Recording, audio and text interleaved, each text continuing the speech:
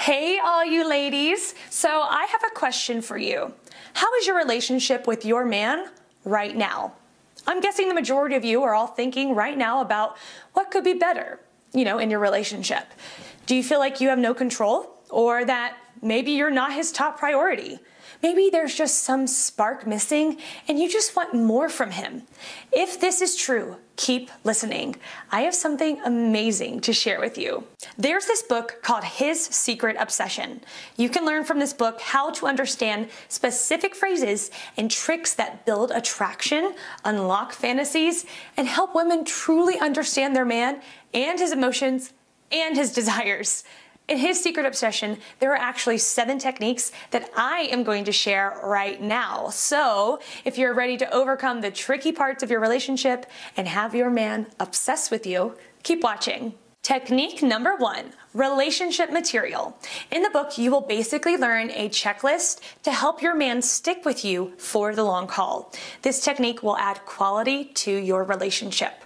Technique number two, the private island. This technique is all about developing emotions and feelings between your partner and you. Technique number three, the ex back signal. So, this four phase technique is for those who have experienced a breakup in the past and seriously want the chance to get back with their ex. Uh, it guides you in what to say and what to do to get him listening and hopefully rekindling your relationship. Technique number four, the glimpse phase. This technique helps you to truly show your authentic self to your partner and have them yearning to know more and more about you. Technique number five, the damsel in distress signal. So, this one is all about tapping into your man's protective instincts. Technique number six, silent action signal. In this technique, you learn how to use hidden skills to activate the hero instinct in your man. And last but not least, technique number seven, I own you.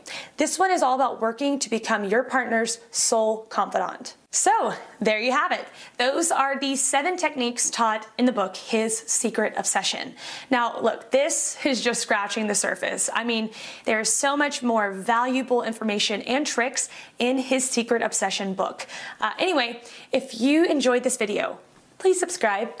There is going to be a lot of useful and fun content coming very soon, so please get ready for that. Uh, also, if you want access to the official website, click the link in the video description. Uh, yeah, thank you so much for watching. Bye.